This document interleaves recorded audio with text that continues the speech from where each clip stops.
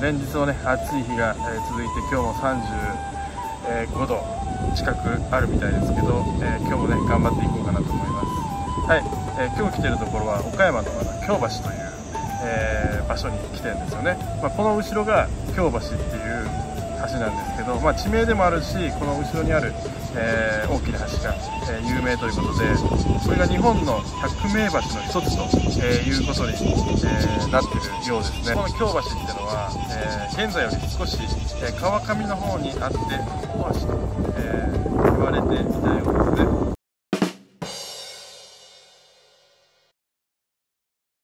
安土桃山時代にこの大橋のたもとに町があって、京都。えー、大阪の、えー、品を扱う店が多かったということで、えー、京橋という名前になったと。京橋を、え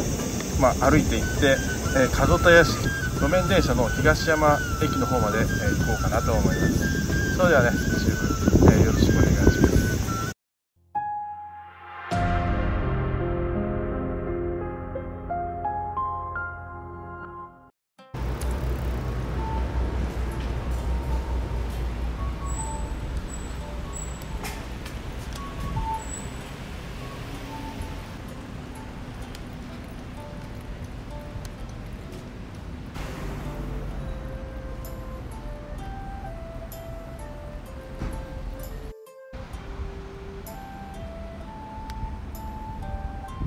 ここが、えー、京橋ということで、えー、結構ね昔ながらのお店というかお菓子屋さんあったり。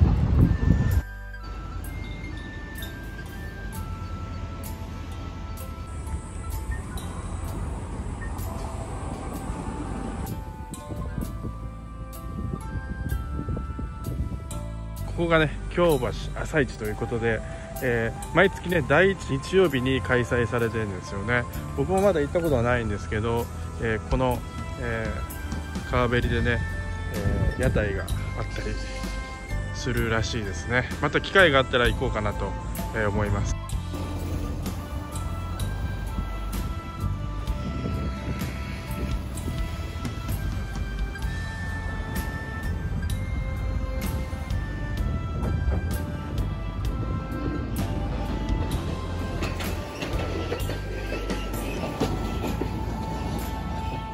でこれが、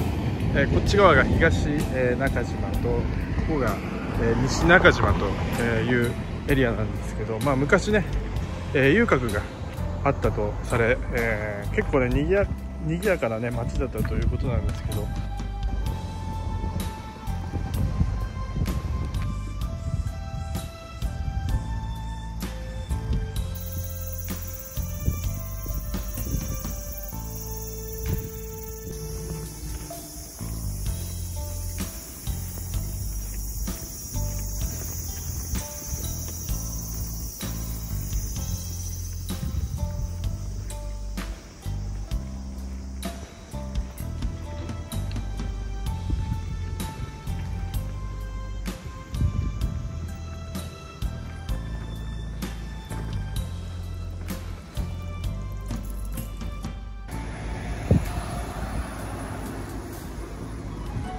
この街並みを、えー、大切に残そうというエリアに、なってるみたいですねここの辺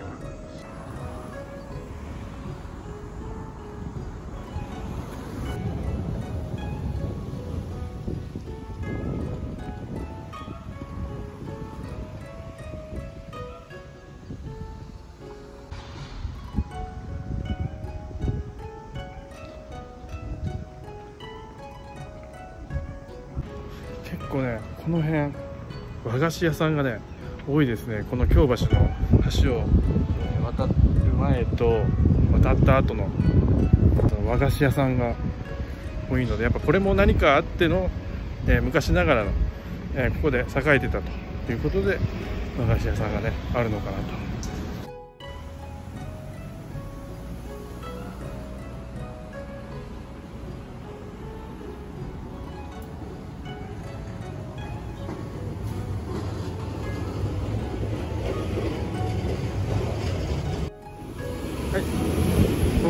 門田屋敷と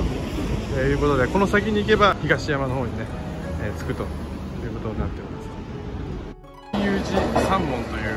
えー、門がこの前にあるんですけどこれはなんかその、えー、1945年の6月29日未明の岡山大空襲により、えー、本堂は焼けてしまいましたがこの、えー、三門だけは柱の一部とシャチホコの尾が被害を受けただけで、えー、残っているということでまだ、えー、こんな感じですかね。残ってるんですよねこれまた先ほど、えー、岡山大空襲という話をしたんですけど、まあ、この辺もねかなりの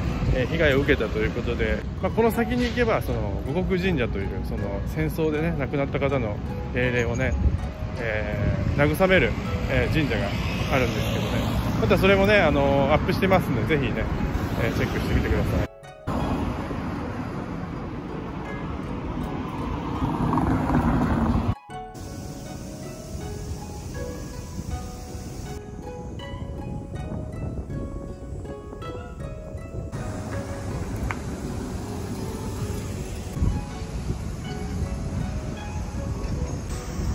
えー、ここがねえー、東山の、えー、終着駅路面電車の終着駅の場所なんですけど、まあ、ここにはねその路面電車のこの岡電ミュージアムというのがね存在しますね。このチャギントンの関係したね場所なのかなと思います、まあ、今日はちょっと行かないですけどまた興味ある方はぜひ行ってみてください、えー、ここが東山公園ということでこの存在には気づかなかったですね。ちょっと行ってみましょうかね。よいしょ。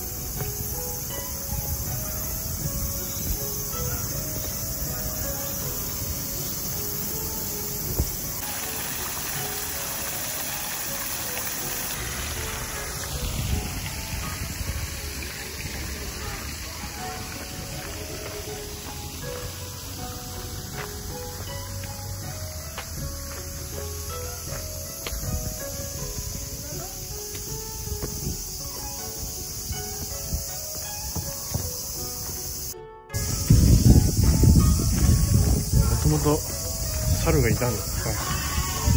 今はこんな感じになってますけ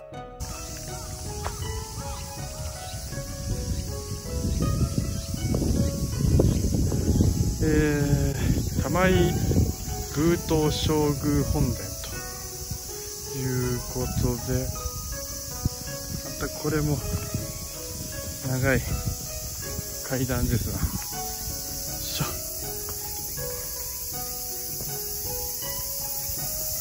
いろいろとね、ありますね、これ。え門田本町、中島町、えー、上東町、東山町、えー、大黒町、赤坂町と。よし。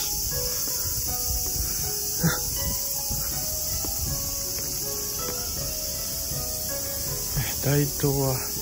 戦争、戦火記念。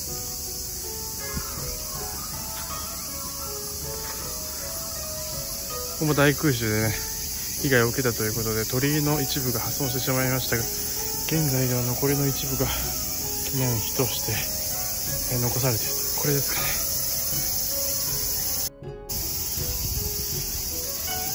ね。またこれちょっと変わった鳥居かな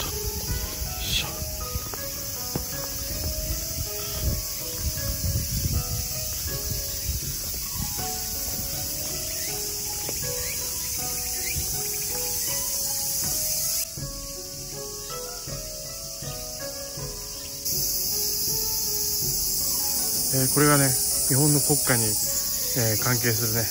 石。さざれ石のという、えー、部分に、え関係したこれが、え石ということですね、はい、え皆様ご視聴お疲れ様でした。今日はね京橋から、え門田屋敷、えを越えての東山の方まで来たんですけど、えー、まあ、なかなかその分かりやすいその京橋の歴史っていうのは痕跡はないのかなと思うんですけどやはり、えー、それ以降の岡山大空襲によって受けたその被害というかそのまだそれ残ってる建物とかが、えー、少なからずあったかなと思います。はい。でまあこのたどり着いた先もやはり、えー、東山公園抜けての東照宮なんですけどやはりその戦火に巻き込まれた、えー、そのものがね、えー、いろいろあったとえー、いうことで、また興味ある方はね、ぜひ、えー、行ってみてください。えっ、ー、と、普通に歩いたら多分30分ぐらいの、え歩きになるんで、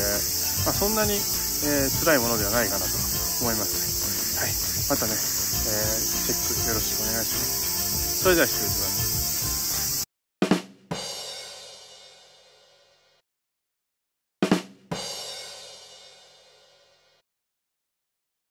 ラバンスピチューブ始めました。普通では上げられない動画、未編集の動画を主に上げてます。ぜひチャンネル登録よろしくお願いします。この動画をいいと思ったらグッドボタン、悪いと思ってもグッドボタン、チャンネル登録もよろしく